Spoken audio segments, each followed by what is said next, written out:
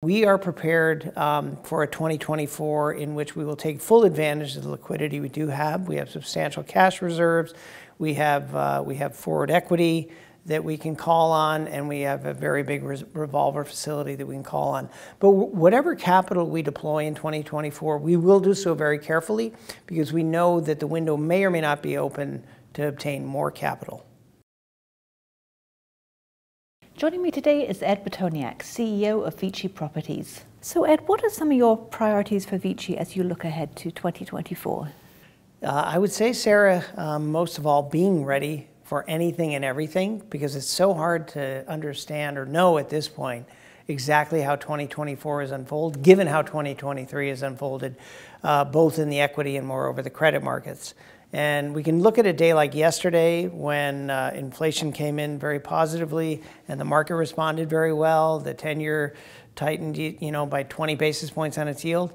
But we don't know what's going to happen tomorrow. So we really go into 2024 making sure we're ready for anything uh, in terms of whatever investment activity we might do, whatever liquidity we need to preserve, and, uh, and being ready for any refinancings that might come in 2024 and beyond.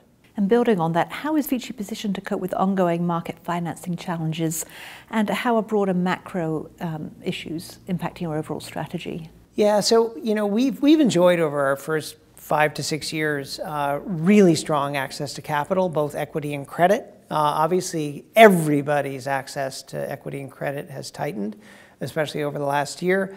So, you know, we are prepared um, for a 2024 in which we will take full advantage of the liquidity we do have. We have substantial cash reserves.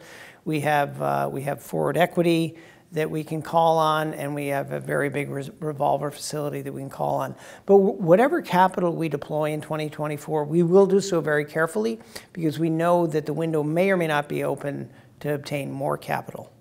And are there certain things that you feel Vici is doing particularly well today or that you're personally proud of? I would say most of all, developing the relationships we've developed with great experiential operators, whether that be MGM, Caesars, Canyon Ranch, and Cabot, and others, and now Bowlero.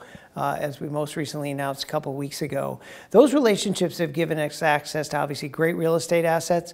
Uh, in particular, obviously, it's given us great access to Las Vegas, where we own 10 assets. And you know, as we're seeing literally uh, hour by hour right now, as everybody gets excited about the debut of F1 uh, tomorrow in Las Vegas, Las Vegas is the epicenter of global entertainment right now, whether it be the Sphere, whether it be Adele's residency, whether it be F1, whether it be the Super Bowl in January, whether it be the NBA Final Four in season tournament here in December. Uh, we, we are really glad to have the investment that we have in Las Vegas.